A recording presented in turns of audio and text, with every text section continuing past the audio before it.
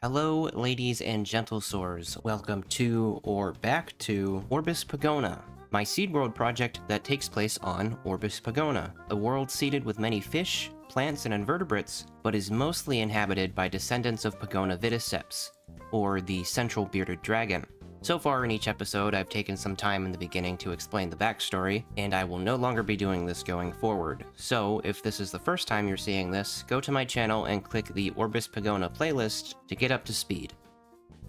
In the last episode, we dove into the evolution of some of the planet's insects. However, some of these invertebrates, as well as the large herbivorous animals, are getting to be too much to handle for our basal carnivores like Pogona vitticeps and Pogona golobus. Today, we'll go back to those dragons and see how they've adapted to balance the ecosystem.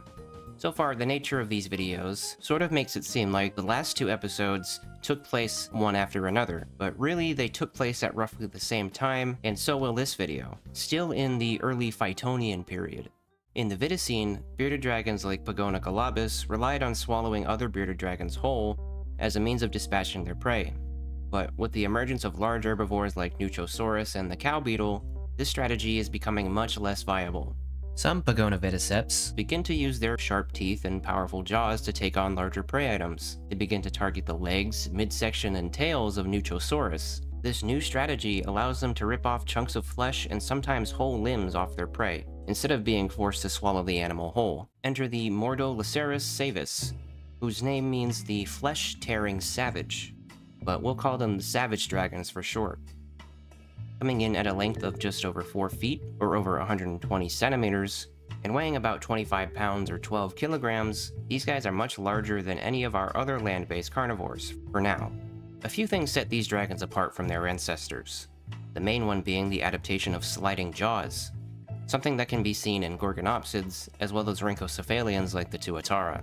With these sliding jaws, they can move their jaws in a sawing-like motion, allowing them to break down large bits of animal matter a lot more efficiently.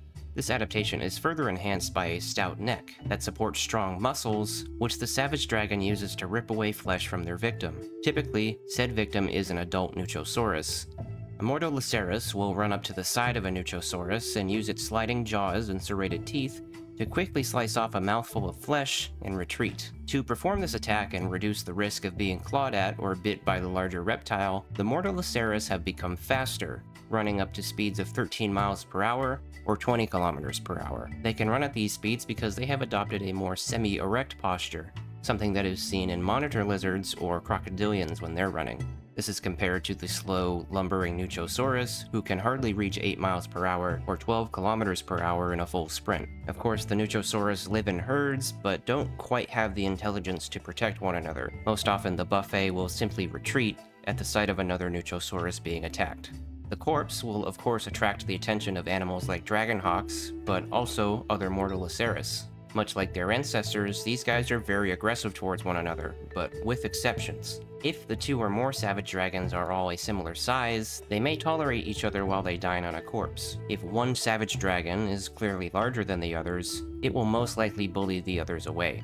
One last adaptation that sets the savage dragon apart is a single tooth that is in front of and different from their other teeth. This tooth is more robust and unserrated, almost resembling a spike on the backside of a warhammer. It is used to puncture through the carapace of young cow beetles, which some of you pointed out is not how beetles work, as beetles do not grow larger after they pupate, so I'm going to make an addition to the cow beetles spec evo here. Cow beetles have the ability to molt like arthropods. I'm not I'm not backpedaling. They evolved to molt because I said so, thank you. Mordolacerus will often prey upon freshly pupated cow beetles as they are an excellent source of calcium that is essential to the diet of all bearded dragons. They cannot however use this tooth to crack through the adult's carapace, leaving fully grown cow beetles still without a natural predator. This shell-cracking tooth is actually a remnant of their egg tooth, which they never shed, this one tooth actually has some pretty heavy implications for the future of predators on Orbis Pogona, but for now, the Mordolacerus is the top land predator on the planet.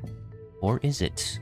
Some Pogona golobus, instead of adjusting their lifestyle, simply double down. They continue to try and eat increasingly larger and older bearded dragons, growing larger themselves with generations. Meet the Orschizes veraci, whose name means the voracious split mouth, but we'll call them the split mouth dragons. The Orschizis veraci is a descendant of Pogona golobus that has adapted a split lower mandible that allows them to swallow much larger prey items whole, much like snakes, coming in at a length of 7 feet or just over 2 meters, and weighing 55 pounds or 25 kilograms. The split-mouth dragon is even larger than the savage dragon, though does not prey on larger lizards like the savage dragon does. Instead, the split-mouth dragon preys upon primarily adult Pogona vitticeps, Pogona golobus, young cow beetles, and really just about anything it can fit down its gullet, their favorite snack being Nuchosaurus eggs. Like their cousin the Savage Dragon, they too can run up to speeds of about 13 miles per hour, or 20 kilometers per hour, which allows them to easily catch any fleeing bearded dragons, though you might notice that they have very stubby legs. They move around close to the ground, gliding over terrain on their stomach and tail,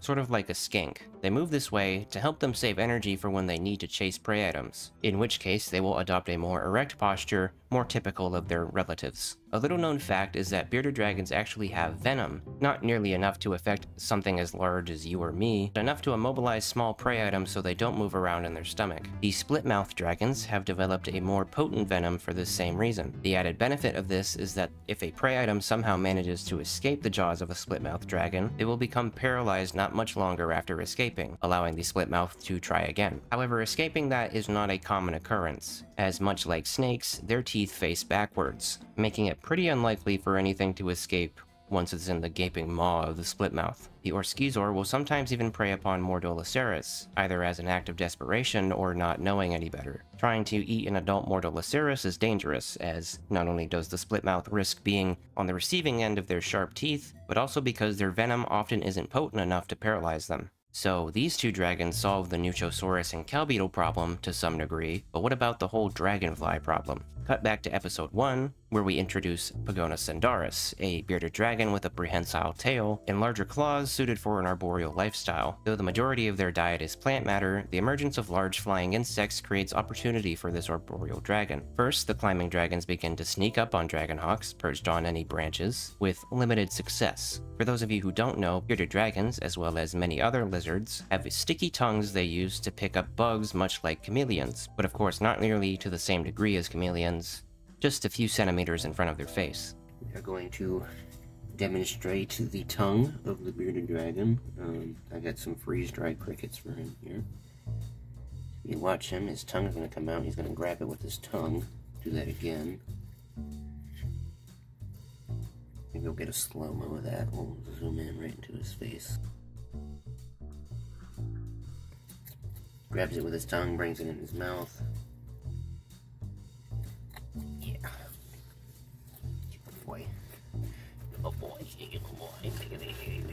The climbing dragons that have the longest tongues have the most success in catching these dragonflies, as well as the dragons who have the best colors and patterns for blending into the environment around them. Becoming the strongest and most well-fed of the climbing dragons, these camouflage sharpshooting beardies are selected as the best mates, and their traits are passed down over generations. This gives us the Pogona lingutox, whose name means the arrow-tongued beard, but we'll call them the marksman dragon for short. They haven't gotten too much bigger, weighing just a little over 2 pounds and not exceeding 33 inches or 86 centimeters. The most obvious change is their coloration. The marksman dragon's scale pattern resembles that of tree bark, allowing them to of course seamlessly blend into the branches or trees that they sit on. They may even take the appearance of a branch by hanging off the branch they're on with their prehensile tail, much like their cousin the Pogona sandaris. The sticky tongue of these dragons has evolved to be incredibly long, almost twice the length of the dragon it's shooting out of. A marksman dragon can use their tongue to snatch a prey item up to 5 feet or 1.5 meters away. Their prey of choice are, of course, the dragonhawk. Though they are larger than the Pogona lingutox, the marksman dragon will target their head or wings to keep them from fleeing, so they can slowly chew them apart. Most of the marksman dragon's diet is insects, but plant matter still makes up as much as 20% of their diet, with their favorite fruity snack being wild grapes. You'll notice that this dragon is within the same genus as our other dragons from episode 1. This is because despite having some unique adaptations, they are still genetically very similar to the Pogona sandaris and other members of his genus. In fact, hybridization between the marksman and the climbing dragons is not totally uncommon, though most of the time these hybrids are infertile. As the Phytonian explosion continues to coat the planet in plants, we see the rainforests and jungles become much more densely packed, which allows both Pogona sandaris and Pogona lingutox to more safely leap between trees without fear of falling. Perhaps in the future, we may see some new adaptations emerge as a result of this new behavior. All three of these carnivorous dragons have heavy implications on the future of Orbis Pogona's ecosystems and biodiversity, and are the first aggressors in an evolutionary arms race that will be fought for eons. Thank you guys so much for watching. If you enjoyed the video, don't forget to leave a like, a comment, and of course hit the subscribe button. If you'd like to talk with other people that enjoy the channel, consider joining the Discord. And if you'd like to be more involved in the channel and its content, consider joining the Patreon or becoming a YouTube channel member to use these funny emojis during premieres or live streams. Shout out to all of our patrons, some of which include Julia Porter, Lex Gunn, Galactic Narwhal, Rhubarb600, Green Turret, Tyler Sparks, The Juan Kaiser, and Mr. Matt. Once again, thanks for stopping by, and I'll see you next time.